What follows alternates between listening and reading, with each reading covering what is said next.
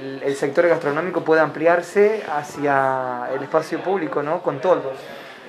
Buenas tardes. Eh, sí, el proyecto de ordenanza, elaborado en forma conjunta, obras, de servicios públicos, obras y servicios públicos y la Secretaría de Industria, lo que busca es relevar una necesidad que ya existe, que es la necesidad que tienen los comerciantes de utilizar el espacio público en muchos casos, y la pandemia ha, este, ha profundizado esa necesidad por la eh, simple razón de que se encuentra limitado el aforo de esos locales. Estamos pensando en los gastronómicos, pero también pueden ser otros que requieren del uso del, espacio público. Por ejemplo, que, necesiten este, extender sus, los límites de su comercio porque son muy pequeños y lo quieren hacer hacia la vía pública. Eso exige de que se piense desde el área, que sea la forma más estética posible, que sea eh, armónico con, el, con sus vecinos, con el medio, con los materiales que utilizan. Entonces, esos toldos que estamos proponiendo que sean regulados exigen de que sean, es para aquellos que son los estáticos, los que van a quedar en forma permanente. Entonces que sean de materiales eh, nobles, que sean de madera, que sean metálicos, que sean de chapa. Em, pero también existe la posibilidad que aquellos que han invertido en lonas que sean removibles, que se mantengan. Pero la idea es esa, es que, por ejemplo, en una época como la que estamos transitando ahora, los locales gastronómicos puedan tener ese, esa, esa vereda techada y climatizada, ¿no? Para que la gente... ¿Cerrada o abierta? ¿Cuál es la propuesta? No, porque en, invierno se puede cerrar verticalmente con lonas y calefaccionarla, entonces la gente tiene un lugar donde, donde de estar más cómodos.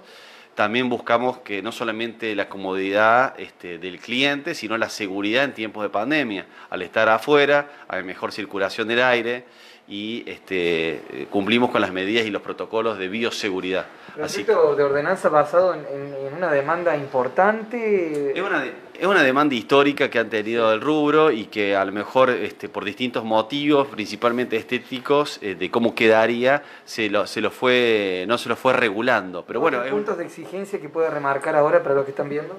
Eh, bueno, que hay que pedir el permiso, eh, va a depender de, qué, de, qué, comercio es en cuanto a, las características de la vía pública, que va a estar regulado, que por el momento va a estar exento del pago de, una tasa, pero eso va a estar regulado a futuro porque están usando el espacio público.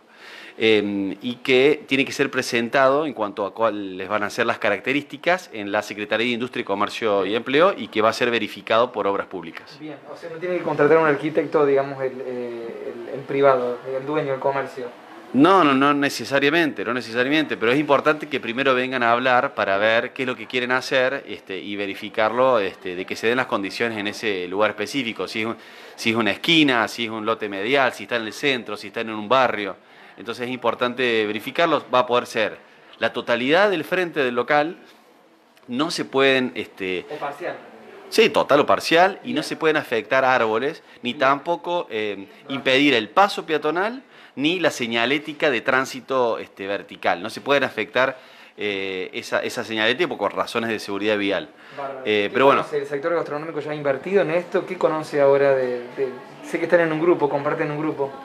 Sí, el sector gastronómico ha sido el que ha sido más golpeado por, la pandemia que estamos viviendo y están averiguando para hacer ese tipo de inversiones. Por eso nosotros también acompañamos, así como lo hemos hecho con otras iniciativas, por ejemplo, microcréditos o, eh, bueno, distintas medidas para, para, paliar su situación, exenciones impositivas, también los acompañamos en esta iniciativa de ordenanza para regular eso y que tengan esa posibilidad de, ampliar su capacidad de, de sus negocios. Así que bueno, esperemos que estos detalles que anoche observaban los concejales se puedan este, resolver para que ellos ya puedan hacer esa inversión. Perfecto, pero eh, digamos, hay algunos que ya la tienen hecha, por lo que conozco. Sí, bueno, eh, hasta el primero de diciembre del año que viene, si está hecho con materiales que sean este, de mala calidad o que estéticamente queden mal, se tienen que acoger a esta normativa, digamos. Van a tener que hacer una inversión para que quede este, mejor.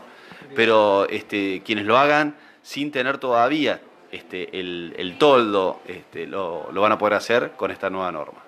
Perfecto, gracias. ¿eh? Gracias a ustedes. Gracias. Bueno, ahí estaba pasada la palabra de el secretario de Industria, Comercio y Empleo de la Municipalidad de General Deza, abogado Mariano Berlingati.